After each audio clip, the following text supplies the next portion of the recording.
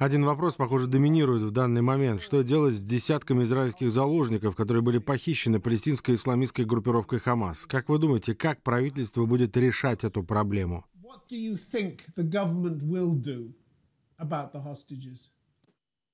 Должен сказать, что я не уверен, что знаю ответ, если бы даже я это знал, я не хотел бы сейчас публично делиться с этим с кем-либо, включая вас, потому что речь идет о жизни и смерти этих людей. Если Хамас был способен насиловать матерей, а затем убивать их, убивать их детей в их домах, то они без малейших колебаний совершат самые жесткие действия в отношении израильтян, которых они сейчас держат в заложниках в секторе Газа.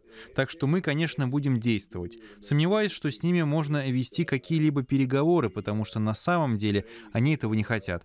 Они ведь хотят освободить всех палестинских заключенных, которые содержатся в Израиле, а израильтян, попавших к ним в заложники, попытаются использовать для торговли. Какой будет наша реакция? Как мы будем справляться с этим? Какие еще меры мы планируем? Какие сюрпризы готовим? Думаю, это не то, что следует обсуждать публично. Если бы вы были у власти, вы бы пошли на сделку с Хамасом? Ведь сделки уже заключались, обмен пленными в прошлом имел место. В 2011 году в обмен на возвращение домой солдата Гелада Шалита были освобождены более тысячи заключенных палестинцев. Нет, мой ответ нет. И это был мой ответ, когда я был премьер-министром. В то время, когда я был премьер-министром, в обмен на Гелада Шалита мне было предложено гораздо, скажем так, лучшая сделка, и я от нее отказался. Я считал, что заключать ее не стоит, что она того не стоит. И, кстати, надо помнить, я не уверен, что вы в курсе, все руководство Хамас сегодня, все руководство Хамас, которое несет ответственность за то, что они совершили против нас в субботу, состоит из бывших заключенных, которые были тогда освобождены в рамках сделки по Гиладу Шалиту. Когда эта сделка была заключена, состоялся просто обмен более тысячи экстремистов на одного солдата. Я считаю, что в долгосрочной перспективе результаты этой сделки были по-настоящему разрушительны для Израиля, и мы должны быть крайне осторожны в отношении такого рода форматов, в которых заключаются подобные сделки. Но это не означает, что способов освободить удерживаемых ими израильтян не существует. Но опять же, как я уже сказал, это должно решаться крайне осторожно и не публично. Господин Ольмерт, было много разговоров о системных провалах в работе израильской разведки, которые привели к этому нападению. Но вы обвиняете в этом правительство. Вы назвали это результатом высокомерия нынешнего правительства. Самонадеянности в отношении чего? Если позволите, я скажу вам две вещи. Первое. Думаю, что это было бы ошибкой, я, кстати, не возражаю против того, что они делают, было бы ошибкой считать, что израильская разведка провалилась полностью. Вовсе нет. Мы все видели, мы наблюдали за всеми приготовлениями. Это совпало один в один со всем тем, что мы фиксировали, замечали и анализировали в течение длительного периода времени.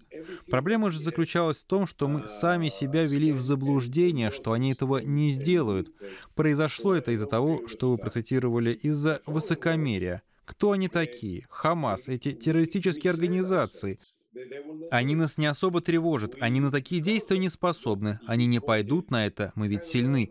Мы ведем себя в достаточной степени устрашающе, мы могущественны, мы можем остановить их всех и так далее и тому подобное.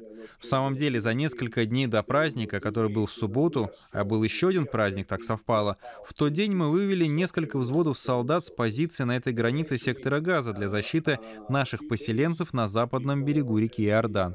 Это было отражением того безразличия, самодовольства и высокомерия, которые, как мне кажется, характеризуют действия нынешнего израильского руководства в этой связи. Именно поэтому я возлагаю вину на израильское руководство, в центре внимания был западный берег реки Иордан.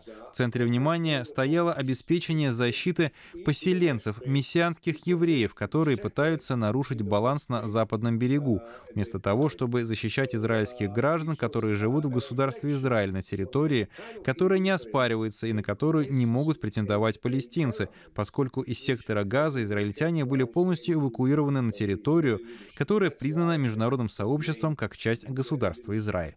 Дело еще и в том, что в течение определенного времени, в течение многих лет, Нетаньяху явно предпочитал иметь дело с Хамасом, чтобы не иметь дело с палестинской национальной администрацией. Почему?